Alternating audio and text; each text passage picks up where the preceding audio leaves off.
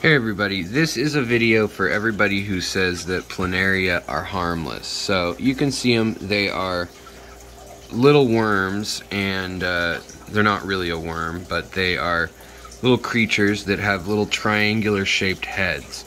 Now, what I want to show you uh, is that they they can take a variety of colors uh, and Usually they're that pink or off-white color with a little uh, diamond-shaped head. Now, I'm gonna bring some more out now of, of my turkey baster here that I got and show you guys the issue with these. So if we hold it under the light, you can see that is a bright neon red planaria. And why is it bright neon red? You guys can probably guess, but it was munching on the shrimp in this tank. And it took down a full grown adult, and there are some in here that are also orange. Uh, when I hold them under the light, you'll see that they're orange. Well, it's the same exact orange as this poor female who was grazing at the top of the tank. And uh, she had eggs. Well, her eggs now are almost completely gone. She's got maybe four, five left.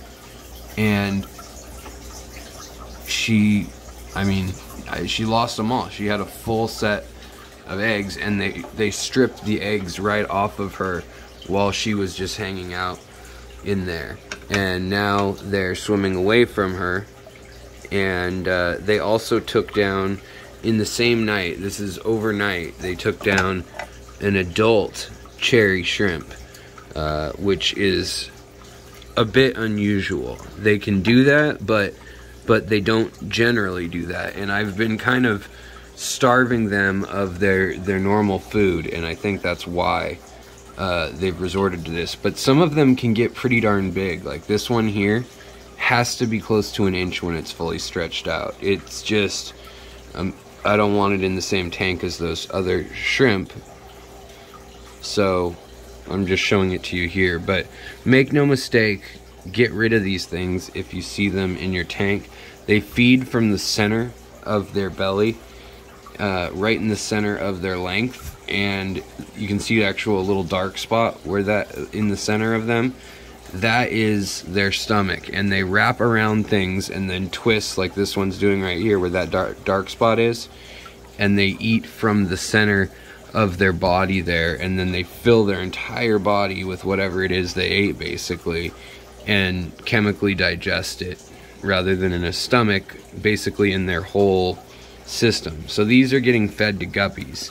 Uh, is what's to happen to these. The bright ones, especially after they've eaten my shrimp, they stand out like a sore thumb. And so the hungry guppies will, will get at them. But I'm just rather bummed out, to say the least, uh, that they were able to take some of the, the reallys and strip this really pretty mother, orange Riley, or really, whatever you want to call them, of her eggs. She's just kind of laying at the top on her side. And I know she's just grazing, but she looks really stunned. Like, she's not moving. She didn't respond and get out of the way like the other ones did. And in fact, I see there's one more that hasn't eaten yet right next to her. See this? And I'm sucking them up with a, a with the turkey baster. But in any case, um, oh, I didn't suck it up. I just knocked it into the water. But in any case, what I was going to say is that you can treat them chemically and you can cut back on food, but the issue with cutting back on on food is sometimes it drives them to attack your shrimp. Look at her; she's just she doesn't even want to she doesn't even want to defend herself against any of this prodding or anything. So I think she's really traumatized. I hope she makes it um, she looks fine and intact, but they ate all of the babies off of her, uh, except for whatever's left on her belly, which looks like maybe, man, maybe only three, four. Very sad. Very, very sad.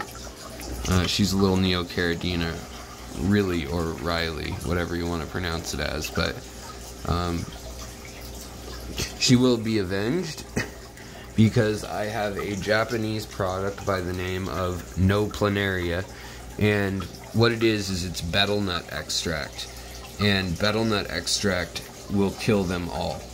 It will kill any snail or nematode or little worm that's in the water. It will cause their cells to swell and not be able to osmoregulate, and they will uh, either swell up or shrivel up depending on what their body responds with. So some some of the pests will actually uh, no longer be able to regulate their the intake of water. And yet, see, that's the one where they they strip that one of the berries too.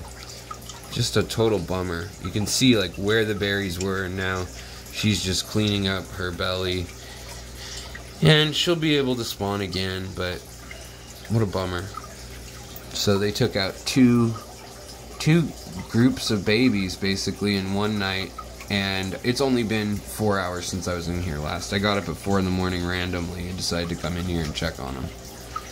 So beware of planaria. Don't don't just say they're they're no big deal. Uh, a lot of YouTubers say that, and maybe they aren't in a big fish tank, but I've seen them take down also little fry, you know, that are the size of like these little guppies here. By the way, look at that. Look at that paramecium culture I've got going in here. Put a piece of lettuce in the tank in this guppy tank, and about three days later, I've just got tons and tons of those little white speckles, which are food for the babies. Uh, pretty crazy. You can actually see there's like clouds of it. Anyhow, I'll talk to you guys next time on the secret history living in your aquarium. But planaria are no joke. They will kill your baby shrimp, your fry, and they'll even kill your adult shrimp if you have enough of them. So be careful.